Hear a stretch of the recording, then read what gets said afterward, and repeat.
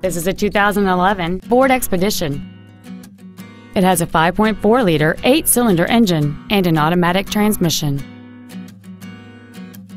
Its top features include a double wishbone independent front suspension, power adjustable driver pedals, a low tire pressure indicator, traction control and stability control systems, and satellite radio. The following features are also included heater vents for rear seat passengers, cruise control, an auto dimming rear view mirror, a leather wrapped steering wheel, a trailer hitch receiver, a four wheel independent suspension, running boards, dusk sensing headlights, front and rear reading lights, and this vehicle has fewer than 22,000 miles on the odometer. Contact us today to schedule your opportunity to see this automobile in person. Helfman Ford is dedicated to doing everything possible to ensure that the experience you have selecting your next vehicle is as pleasant as possible.